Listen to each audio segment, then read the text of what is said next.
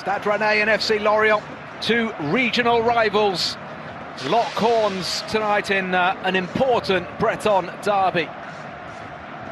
Rennes outstanding in recent years in front of their own supporters here at Roazhon Park. It's an atmospheric, can even be an intimidating arena in the big games, and today is very much a big game in the hearts and the minds of these uh, Rennes and Lorient players, and of course the supporters. Rennes have Martin Terrier fit and uh, and firing once again. He's looking good after 10 months out with uh, cruciate ligament damage. Terrier starts in attack for Rennes today alongside Arnaud Kalimuendo. One notable absentee for Rennes, the former Lorient player, a very popular figure in his Lorient days, Enzo Le Fée.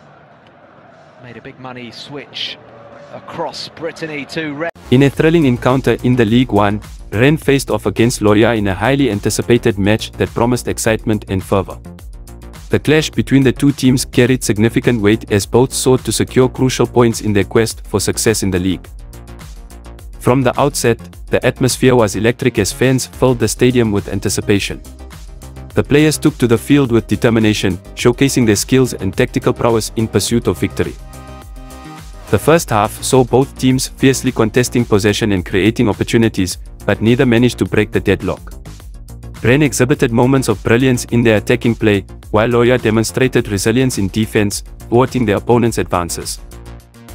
As the second half commenced, the intensity only heightened, with both sides pushing for a breakthrough. However, it was Lorient who seized the pivotal moment in the 56th minute when Mohamed Bamba found the back of the net with a clinical finish, sending the visiting supporters into jubilation. Despite Rennes' valiant efforts to mount a comeback, Lorient held firm, showcasing discipline and composure to maintain their lead until the final whistle.